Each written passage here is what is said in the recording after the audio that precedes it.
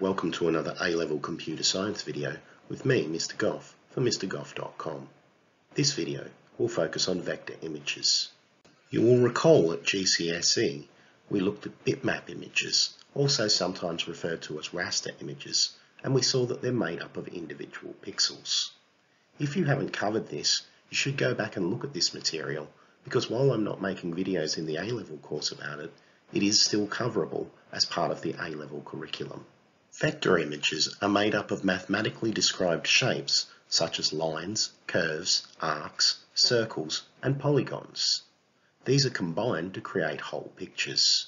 In this simple example here, you can see how several rectangles with different properties for colours and a triangle have been combined to create a basic outline of a house.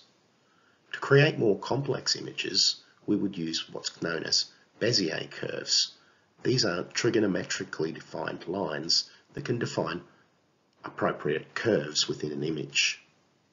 Vector images store each of the shapes that the image is comprised of as lists of shapes and their relevant properties.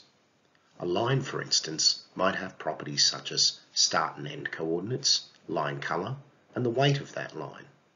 A circle might have to know the center position of the circle with x and y coordinates, the radius, the line color, the weight of that line, and the fill color. A square might need to know the top left coordinates, both x and y, the width, the height, the line color, the fill color, and probably the weight of that line as well.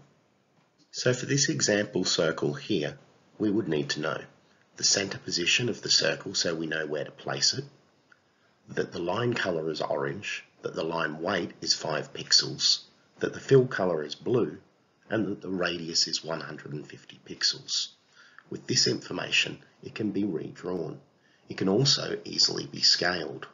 A vector image is usually a smaller file size because it's just a list of commands on how to draw the image. Vectors can also easily be scaled without pixelating like a bitmap would, as you can see in this example image. A vector cannot easily represent an image with a lot of different colours like you might see in a photograph. This is why we use bitmaps for these.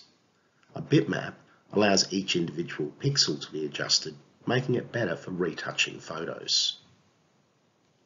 Meanwhile, the scalability of vector images makes them perfect for things like company logos that might be used on something as small as a business card and as large as a billboard. That brings us to the end of this look at vector images. Join me in the next video when we'll be looking at Nyquist theorem and how MIDI works. Use the resources at mrgoff.com to help you revise computer science, and until next time, it's bye for now.